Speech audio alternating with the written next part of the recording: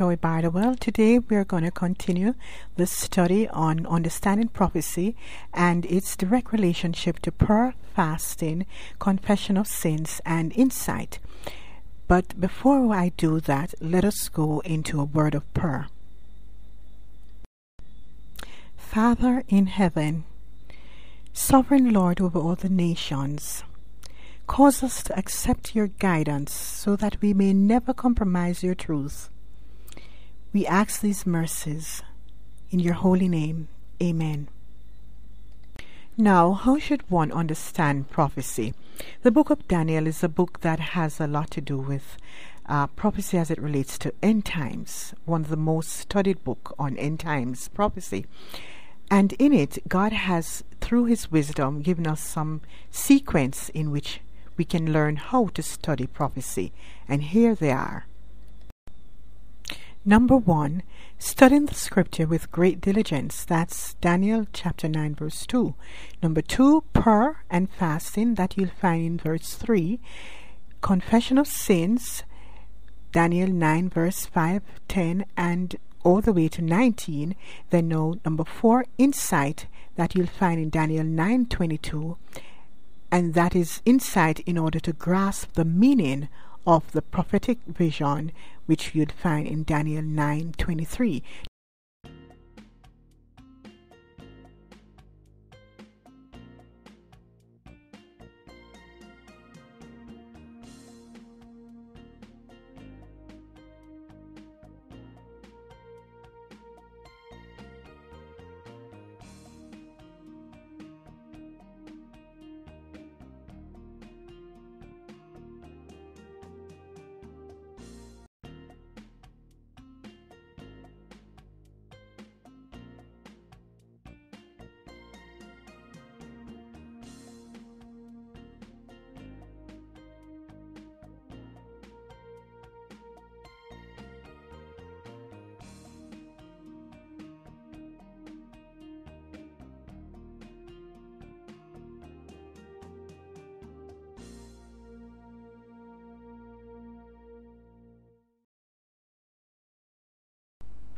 Now notice Daniel's how he ended his prayer. He asked for forgiveness. He said, O Lord, hear, O Lord, forgive.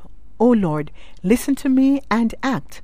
Don't delay for your own sake, O my God, because your people and your city bear your name. Now, verse 20 Even while I was praying and confessing my sin and the sins of my people, and desperately pleading with the Lord my God for Jerusalem, his holy mountain, Gabriel, whom I had seen in the earlier vision, flew swiftly to me at the time of the evening sacrifice and said to me, Daniel, I'm here to help you understand God's plan. Notice over the other side of the pane, God's plan he spoke about here. It says that I'm here to give you insight with understanding.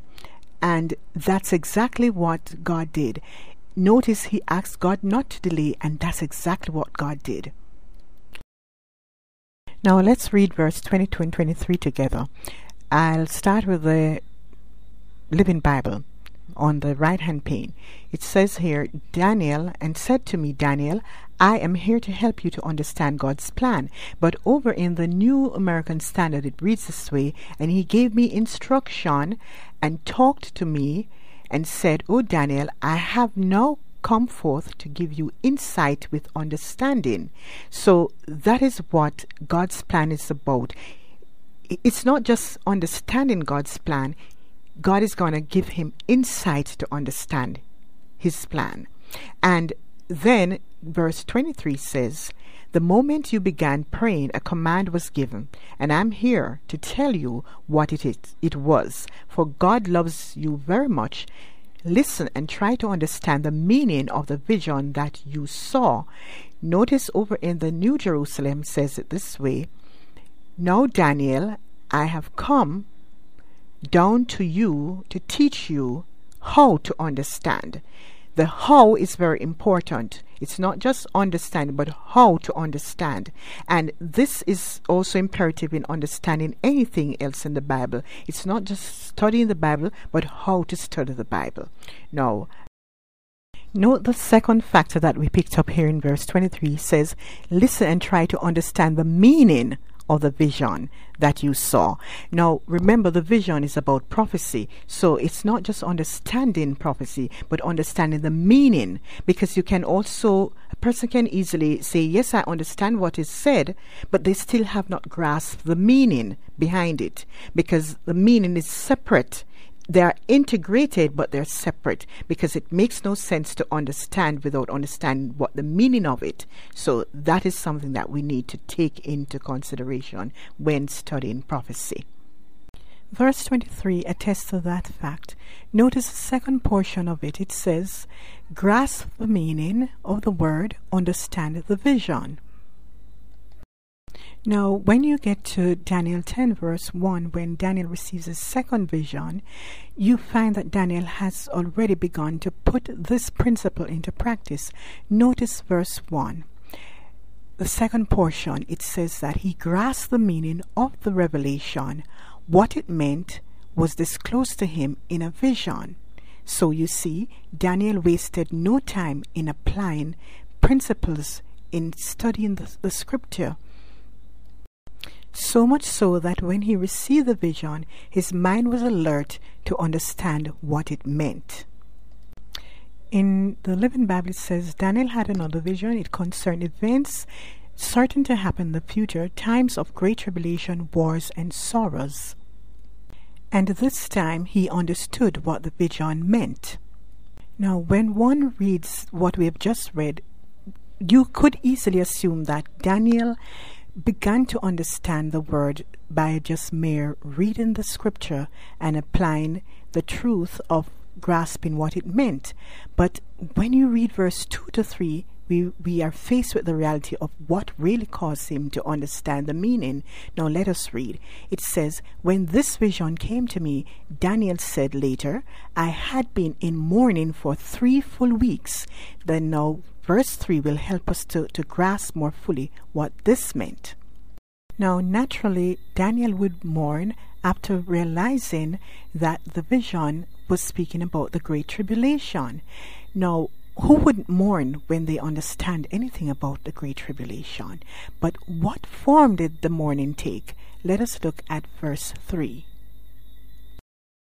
Now, this is means by which Daniel mourned. Notice verse 3 All this time I tasted neither wine nor meat, and of course I went without desserts. I neither washed nor shaved nor combed my hair. But what I want you to notice is the Revised Standard, it says, I ate no delicacies, no meat or wine entered my mouth, nor did I anoint myself at all for the full three weeks. Now, that verse is going to take us back to remind us of Daniel chapter 1 when Daniel first came to Babylon as a captive.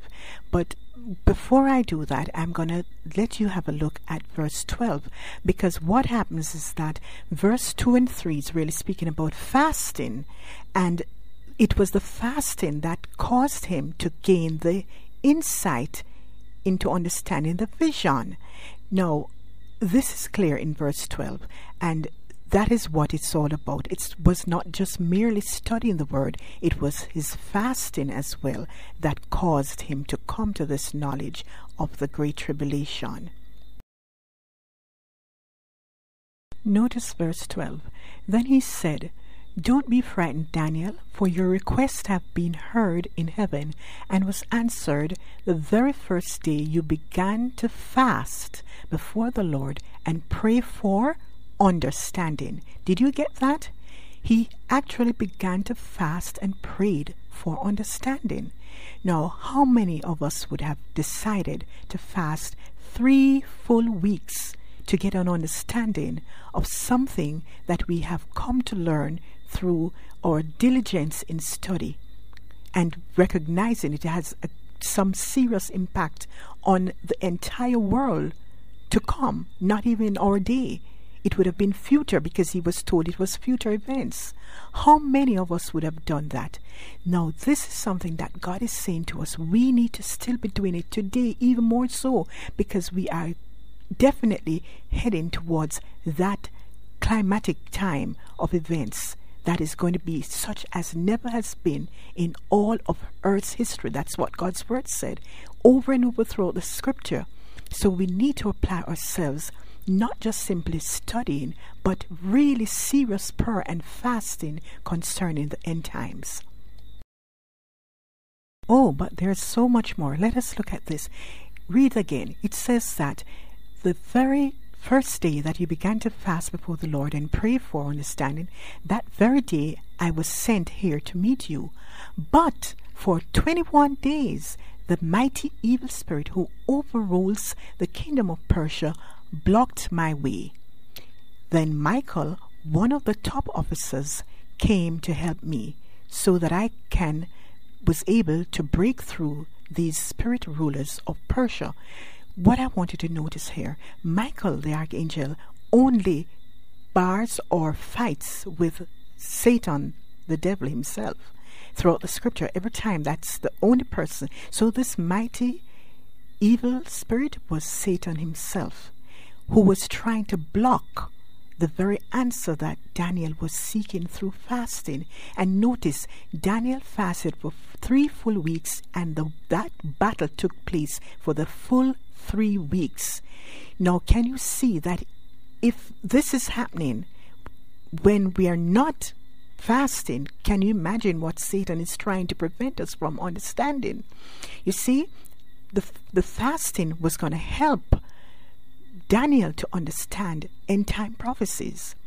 And this is what we need so that we can truly understand prophecy. But what you're finding, there's a whole lot of hocus pocus going on in the scriptures with, but not, I'm not in the scripture itself. What I mean, those who are preaching are not really giving the people what they need to hear.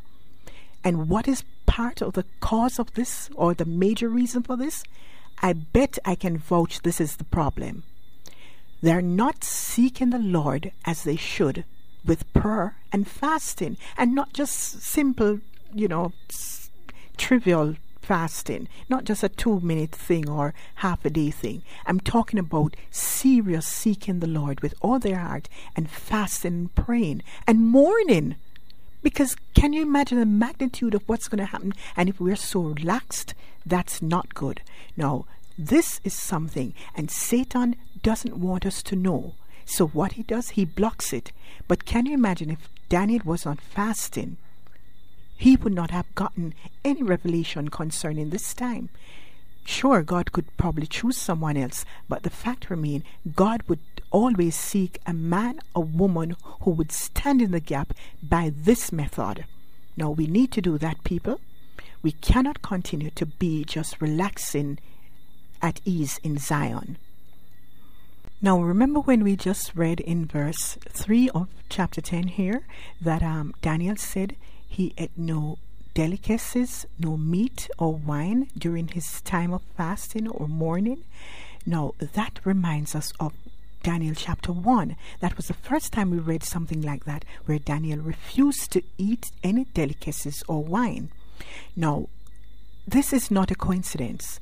God has a purpose for Daniel to even at this point be doing the same thing again. And it has everything to do with the revelation knowledge of the end times. But there's another reason, and I'm going to show it to you just now. Because what God was doing was preparing Daniel from the very beginning when he entered Babylon to understand prophecy as it relates to the great Babylon, which we're going to read about in Revelation chapter 17 and 18.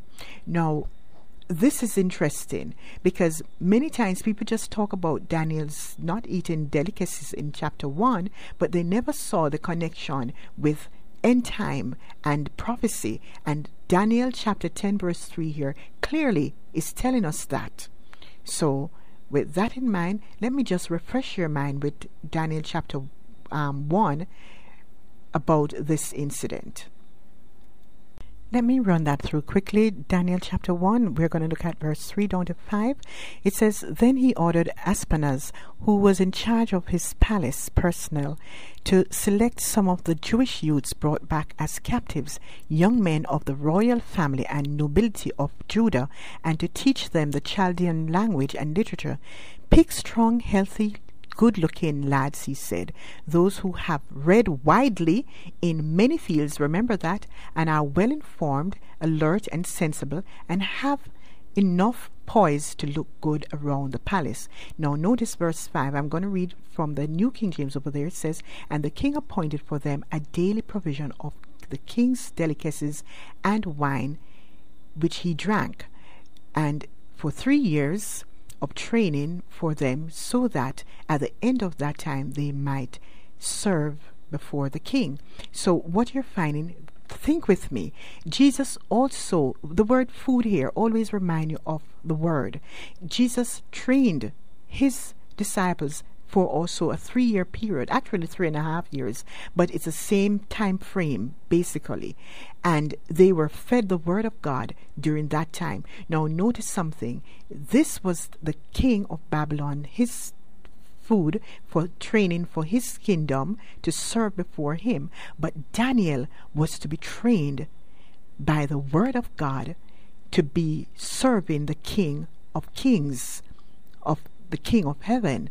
Now, let me go on to the next verse. Notice the New Jerusalem and the New American Apocryphy, it says the king assigned them a daily allowance of food and wine from the royal table, and were they were to receive an education lasting for three years, after which they would enter the royal service. So what you're getting here, um, the training was to take place first, and it was after this training, the same thing Jesus did. They were trained, and then they, they were left to enter into His service, and in fact, Jesus speak of the fact that when his disciples, when he returned, they'll be sitting at his table. Remember, the word is always seen as food. It's likened to food in the scripture. So that is something to, to, to think about when we're looking at this. Now, let us look at the next verse. But Daniel purposed in his heart that he would not defile himself with a portion of the king's delicacies, nor with the wine which he drank. Therefore he requested of the chief of the eunuchs that he might not defile himself. What I wanted to think of here, though this may seem a little bit off for some persons who may not understand, wine when we think of wine here and consider that everything that Daniel was doing, he was praying during the time of the, the evening sacrifice know that he's refusing to, to, to was refusing then in Daniel 1 to, to eat of the king's table. And then here in Daniel 10.3 we read that Daniel was fasting and doing the same thing, not eating delicacies. Remember, the king's table would have defiled him, and but here he was fasting and getting revelation about the end times. But when you look back at Daniel 8 and Daniel 11, which is forward, you're going to see that it's going to really speaking about the sacrifice of Jesus. Now, wine in the scripture speak of the blood of Jesus, and of course, the food would have been basically would could easily represent the body of Jesus. So that is what I'm looking at here. So um, this is very interesting because everything is really surrounding in Daniel about the sacrifice. Most people miss that. The end times has everything to do with the temple and sacrifice, and the temple that it's speaking of is really our body. But I'll prove that to you as I go through the scripture. Now, to conclude this segment of the study, let us revisit verse 12, reading from the New American Standard. And what I wanted to focus on is the last portion of that verse where it says, And I have come in response to your words. That's the angel saying that. Now, what response to what words is the angel speaking of? It all has to do with the sequence that we just looked at. It began with Daniel studying the scripture with diligence. Then he went on to pray and fast based on what he had read because he got understanding as to what was occurring with his people. And next, he confessed the sins because he knew that what he was reading was referring to all the sins that was going to cause them to go through all of this terrible thing that is called the Great Tribulation. And finally, he gained insight to grasp the meaning of the prophetic vision. No wonder the angel was sent in response to those words because by this time it's obvious Daniel prayed in keeping with what all of this that we've just looked at, the sequence. And so God responded immediately. He did not even delay. God immediately responded the very moment he set his heart to do this, to seek with fasting to gain understanding. So we need to do that. And I trust that you'll take these things to heart and you'll begin to do just what God wants you to do. We cannot understand prophecy the way in which most of us are doing it. We need to do it God's way. He laid down these principles in the Bible and we need to follow them. So I trust that you'll take it to heart, take God's advice, and do what He says. Thank you for listening, and may God richly bless you.